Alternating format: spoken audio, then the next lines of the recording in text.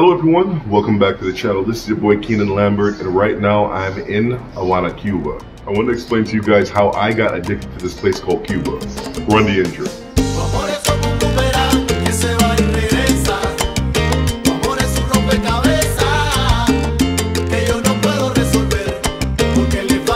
Sé que sé que he sido un estúpido y estoy arrepentido. Analiza tu corazón y devuélveme el amor que me robaste, te lo pido. Tu amor es como un boomerang que se va y regresa. Tu amor es un rompecabezas que yo no puedo resolver porque le faltan piezas. Yo sé que estás enamorado. US blockade, economic blockade, has caused a lot of problems for the island. With the problems that the island has had, the people are very much one of an inventive nature. People do what they have to do to get by here. Yet, even though they are at, you know, uh, a societal baseline, the people who are here are super genuine. You do have a lot of people who will try to hustle you, yes, but there are a lot of people here who are super genuine, loving, and really caring, and they want to take care of you genuinely. Not for what you can do for them, but genuinely. Now, there are a lot of other places that I can go to in the world pretty easily, pretty quickly, but I keep on coming back to this island, and it isn't just one thing that keeps me from coming back. I know a lot of you may think that it might be the women, I might have some girlfriend stashed away here. Nah, it's nothing like that. However, however, the girls here in Cuba are very nice. And they're not like women in other Caribbean or Latin American nations that have access to pounds of makeup and the surgeries and all these other things. The women here are extremely natural. Um, along with that, Cubans can't afford to engorge themselves with food the way how you know we do back in the developed world. So a lot of folks here are relatively slim and in good shape. They walk a lot. A lot of people here do not have cars. They have to walk to transportation lines, then take transportation lines to like a central area, then walk to where their house is. It's a lot of walking. Even though healthcare access here is, you know, is universal, it is free. People don't have access to great dentists, right? So in many cases, you do see people that have some compromised dental uh, situations. I actually had a friend who reached out to me um, in a in a chat. Uh, he met a beautiful, beautiful woman, but there was one downside with her, and I was like, "Oh, word! What was it?" She had brown teeth. Okay, gentlemen, I have a question to you, and ladies too. If you meet someone who is maybe an eight and a half to a nine and a half, beautiful, really good personality, but they got brown teeth, will you still entertain them? Let me know in the comments below. I feel like I've achieved the Cuban Hood Dude starter pack. I've got the grandfather in Senor Tomas, aka Mr. Jefferson. I've got Alina, who is kind of like a combination of a little sister and a goddaughter. And then I have the fake toxic ex girlfriend from Centro Havana that won't leave me alone. My fake former stepson. Sorry, little bro. And then I got my Tio Pepe that always looks out for me. And finally, I got the girl in Miami who's gonna marry me, get me a visa, and get me up out of Cuba. My Cuban hood credentials are complete. All I need to reach level 2 is a Cuban baby mom and a kid that I actually don't take care of. But I don't know, I guess I'm shooting blanks out here. Now, depending on where you're coming from, the flight to Cuba can be a little expensive. If you're coming from Europe, UK, those places, it, the flight can be a little bit expensive. If you're coming from Canada, depends, I guess, maybe the airline that you're taking. From the United States now, with the airlines fighting each other and uh, causing all sorts of competition, the flight is super cheap. I was able to get here for just over 300 bucks. And after I booked, I saw that there were actually flights going for 280. You had to connect in Miami, but I don't mind that at all.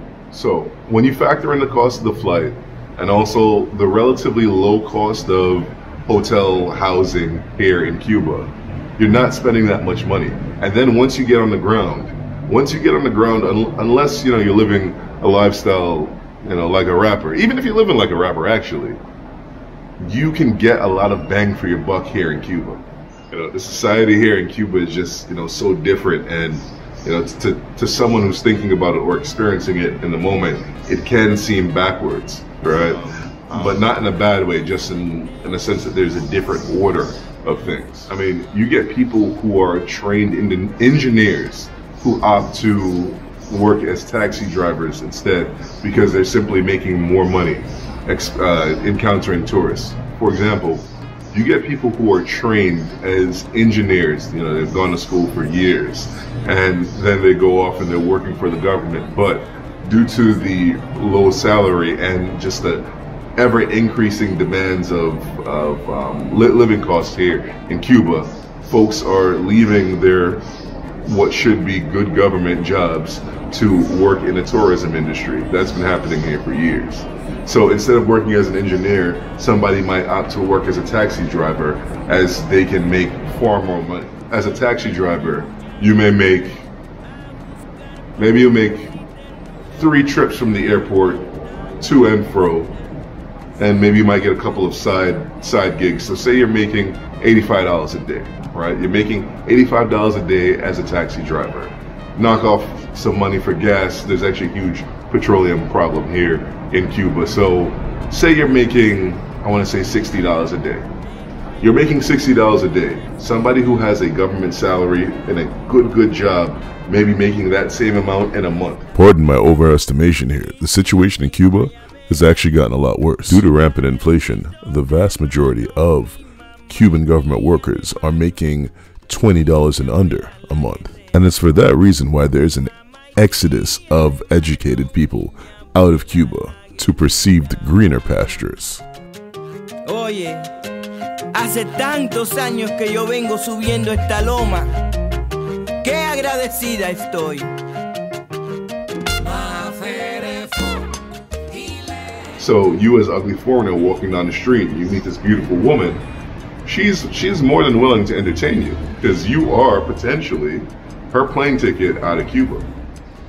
We often talk about Cuba as a place that's you know, stuck in pre-revolutionary times, so stuck in the 50s. Um, it's something that's cute and something that we like to say. However, this society is rapidly moving forward. Um, they're very much pro LGBTQIA plus rights when it comes to race relations. Although it's not perfect here, they are far beyond what we are um, in the states. Gentlemen, when you come here to Cuba, you will see a lot of beautiful women. Um, I encourage all of you to shoot your shot. When a shot becomes available, you shoot it. If you see a waitress that is beautiful, you say what's up. If you see a woman walking down the street, you say hi. My name is Jacob or, or whatever your name is, right? If you see a woman in a balcony, right? I've actually done this before. You see a woman in a balcony, um, and you know, in my case, she actually walked away from the balcony, and then her aunt came forward, and I was like, hey, hey, um, I want to talk to your niece or that, that young chick that was up there. And, you know, I, I was literally a part of the family in five minutes. Okay? Gentlemen, when you come here to Cuba, shoot your shot. However, any girl that pulls up on you in Cuba, you should be skeptical of. No, no puedo. Ok. No puedo, no puedo. ¿Por qué no puedes? Eh, no puedo, no puedo. I gotta go. However, a beautiful young lady with a job that you approach is a completely different thing.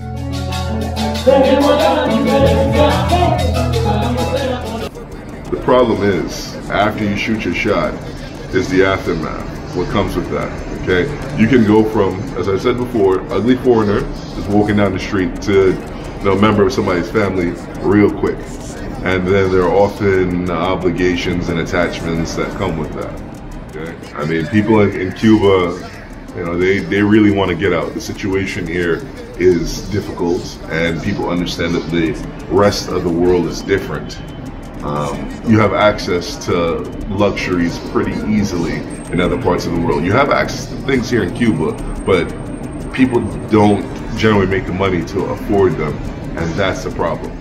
You know, I know many of Canadian brothers who I meet here uh, from the streets, and they tell me this is their 20th time in Cuba. I've actually seen in the comments on some of these videos that there are some of you that have been to Cuba 50 plus times. That that's crazy. It's incredible, and you know it just reaffirms that some of you out there have the same disease that I have, addiction to Cuba. Some of what makes Cuba addictive is how inexpensive it is, right? So if you're somebody that has a bad habit, such as maybe, you know, you might like, I don't know, you like a lot of liquor, right? You like to drink. You can drink in Cuba for low. If you like to go crazy in the club and buy bottles, you can do that for a fraction of what the price is in the States. I mean, like a literal fraction, maybe like one seventh of the price. Oh, so for some of you travel boys that are out there, travel brothers, travel sisters, be careful because Cuba is super addictive. When you don't speak Spanish here in Cuba, it becomes like an opening for people to scam you. Okay, so if you don't speak Spanish, I do also you know want to caution you. Maybe you know you ought to take extra care while you're here because people will target you a little bit more when they know that you don't speak Spanish. Okay, so I want to quickly address my brothers who travel for the sake of uh, just dealing with chicas. Gentlemen, please treat this island like a delicate egg. Sure, do what you do, but please do not ruin this place. I beg you. Okay, do what you do, have fun, but please don't ruin it. Okay, take that to mean whatever you want it to mean. Treat this place with care. Okay, it is my favorite. Do not ruin it. Do not turn it into Medellin, Cartagena. Por favor. There's something about Havana, about Cuba in general, that reminds me of central Brooklyn where I grew up. Now, I grew up in a place where there was a, a, you know, a lot of West Indian migrants came to uh, New York, settled, and you know raised their kids in a particular area. And there was this village mentality that you see here in Cuba. I mean, it wasn't a place where people, a lot of people moved in and moved out. No, it was static. The same families lived in the same houses over time. And with that, there was like a village mentality, right? People become like family when Speaking of family, I want you guys to meet a fellow family member of the channel, Brother Les. He's also terribly addicted. I'm out here in Havana, Cuba. Uh, this is my second time actually in three weeks.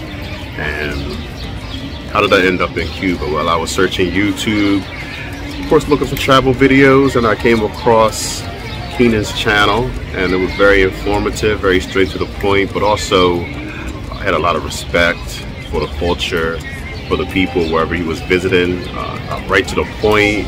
And uh, so I decided uh, to hit him up after I seen the Cuban video, and I'm like, you know, what is this really about? You know, how how did I get there? I mean, he had videos on everything, but I wanted a one-on-one.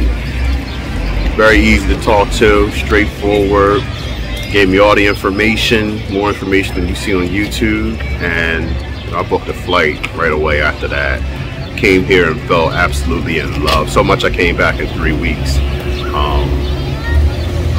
Keenan was the man. I mean, he told me everywhere to go, how to go, when to go, who to go with, who not to go with. And uh, it was just a really, really great experience. Not just coming here, but having a personal guide back home and someone that could be trusted. And, you know, he knows the lay of the land here. And it made my experience that much better that at this point, I'm, anytime I see an American, I'm, I'm telling them exactly what to do and how to do. And I'm, you know, also plugging them in with Keenan because he is the man. So I just want to give a moment to give thanks and appreciation. And I'll be making more content. Um, so just sit back and enjoy. And uh, once again, Keenan, I can't thank you enough. You've made my travel and a cultural experience that changed my life. Much appreciated. Let me show you my Casa Cubana on this trip.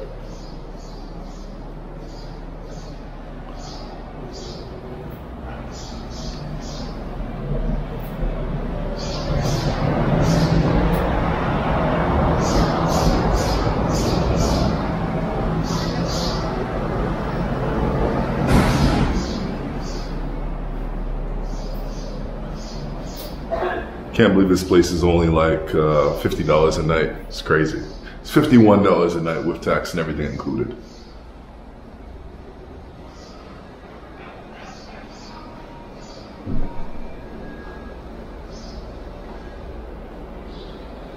This place has a strong nautical theme.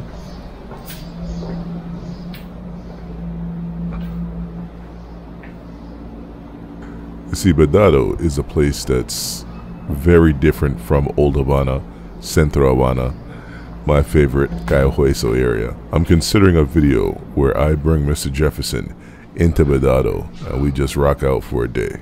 It's very clear that although he's happy and comfortable where he's at, he doesn't get a chance to enjoy his own island.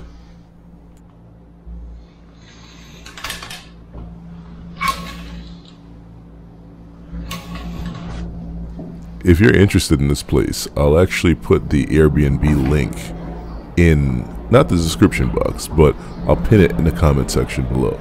I want to thank you guys so much for watching this video. I really appreciate you guys watching me over time, coming in and supporting the channel. I appreciate you so much. I'll catch you in the next video. It might be here in Havana, it might be elsewhere. I don't know. I'll see you. Peace out.